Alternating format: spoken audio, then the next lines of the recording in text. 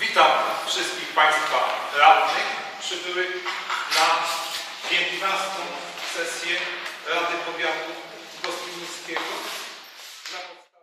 Głównym punktem 15 sesji Rady Powiatu było przyjęcie budżetu na 2012 rok. Dodatkowo wprowadzony punkt o dalszych losach szpitala przedstawiliśmy we wcześniejszej relacji. Przed uchwaleniem budżetu radni przyjęli uchwałę ustalającą wysokość opłat za usuwanie i przechowywanie pojazdów. Na podstawie artykułu 130a ustawy y, Prawo o ruchu drogowym usuwanie pojazdów oraz prowadzenie parkingów strzeżonych dla pojazdów usuniętych w przypadkach określonych w tej ustawie jest to zadanie należące do zadań własnych powiatu. Starosta realizuje to zadanie przy pomocy powiatowych jednostek organizacyjnych lub powierza ich wykonanie zgodnie z przepisami o zamówienia publicznych.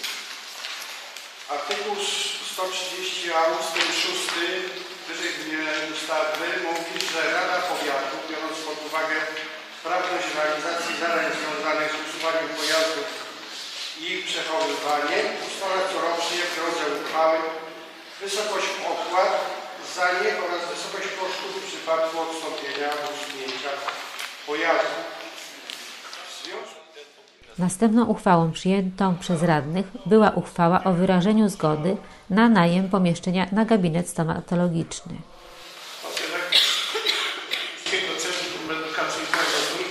Zarządu wyrażenie zgody na najem pomieszczenia na 3 lata na gabinet stomatologiczny dla tego samego podmiotu, czyli dla pani Jadwigi Duzia-Krzyperskiej, która dotychczas y, wynajmowała i prowadziła gabinet. W związku z tym, że to przekracza kompetencje zarządu, musi być podjęta stosowna uchwała. Radni przyjęli też uchwałę o wyrażeniu zgody na najem lokalu na sklepik szkolny w zespole szkół imienia Marii Skłodowskiej-Curie.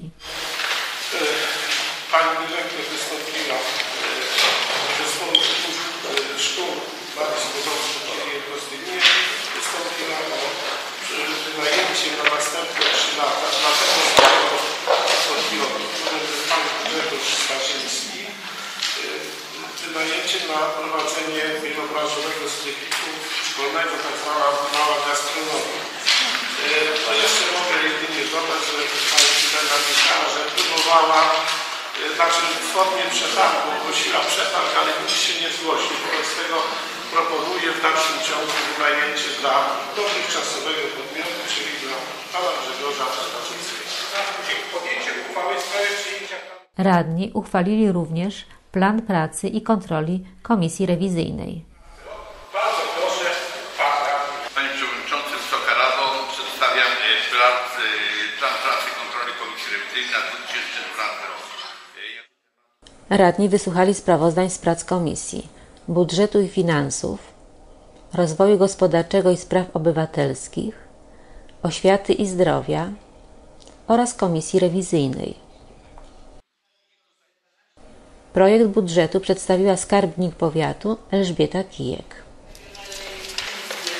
Jest to e, kolejnego wyzwania dla powiatu gostynińskiego w świetle e, chociażby tej poprzedniej uchwały, e, która mówi o przekształceniu wzorowym, bo to jest największe wyzwanie dla powiatu e, gostynińskiego na rok 2012 z tytułu nałożenia ustawy o finansach publicznych przejęcia przez powiat.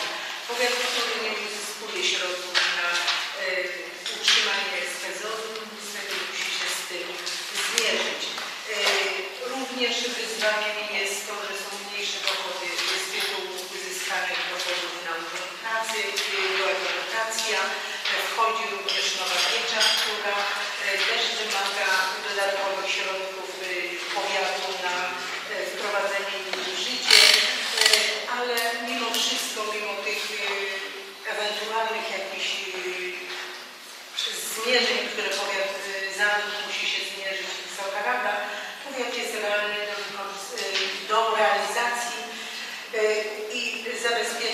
wszystkie podstawowe y, umowy, które powiat podpisał, tutaj myślę o umowach poręczenia, y, wszystkie umowy y, o pracę z pracownikami jednostek, te wszystkie, na te wszystkie zadania pieniądze są, środki finansowe są budynki zabezpieczone. W uzasadnieniu na stronie tej za przyjęcie uchwały budżetowej proszę o podniesienie ręki.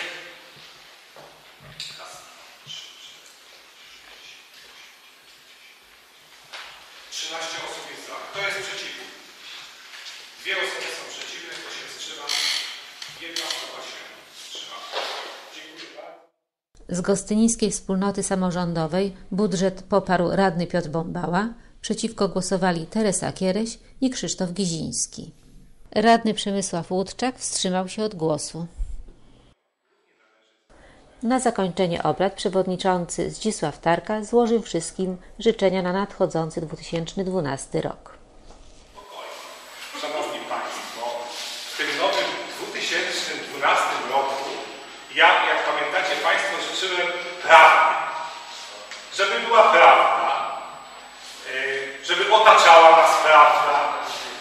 Tak więc mediom naszym życzę, żeby przekazywali jasno, czytelną, nie naciąganą w jedną ani w drugą stronę obiektywną prawdę. Przedstawiajcie uczciwą, obiektywną prawdę, taka jaka jest i tego Wam życzę. Tak więc naszym mieszkańcom no życzę przede wszystkim dużo zdrowia i tej prawdy, żeby była obiektywna, czysta prawda.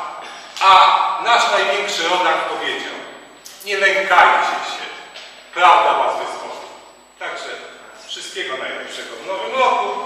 Zamykam obrady 15 sesji Rady